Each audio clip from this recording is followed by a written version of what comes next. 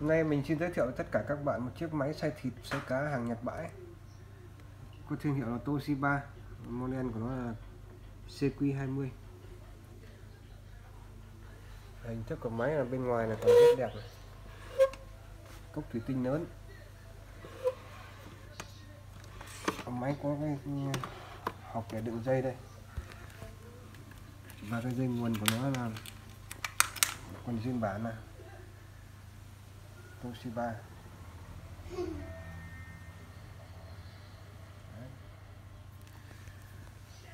Và bây giờ mình sẽ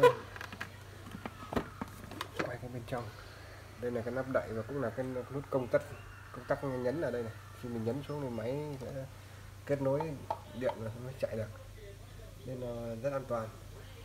Nhưng họ không làm một nút bấm một cái để nguyên.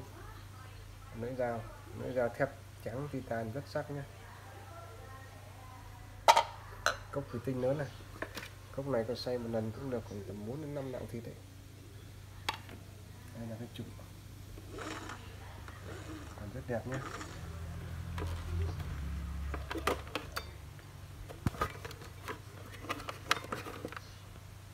đây là thông số của máy này. điện 100V công suất là 220W chiếc máy này được sản xuất tại Nhật luôn nhé còn nếu mà những chiếc nào sản xuất tại China thì nó sẽ ghi là như China biết này. Nhưng mà những dòng hàng thương hiệu Natina hoặc là Toshiba hoặc là Panasonic hoặc là Sanyo Mitsu những dòng thương hiệu thì máy chất lượng ok rồi không phải suy nghĩ. Đấy, và bây giờ mình sẽ bật khởi động máy nhé.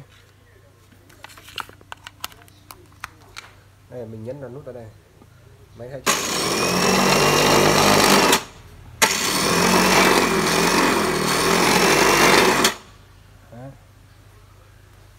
máy chạy rất khỏe. Công công suất thì ghi 120W thôi, nhưng mà máy chạy rất khỏe nhé không như cái hàng Trung Quốc. Trung Quốc ghi số to thôi, nhưng mà không chắc nó khỏe đây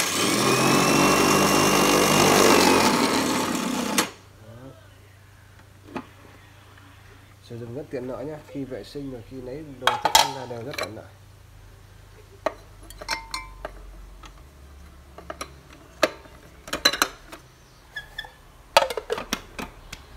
Nếu nào có nhu cầu mua liên hệ mình theo số điện thoại 035 874 2679 máy xay thịt cá này, xay sinh tố, ép hoa quả bên mình về rất nhiều nhé và liên tục. Nào cũng nhu cầu mua thì cứ liên hệ mình. Tất cả bán từ các phụ kiện của máy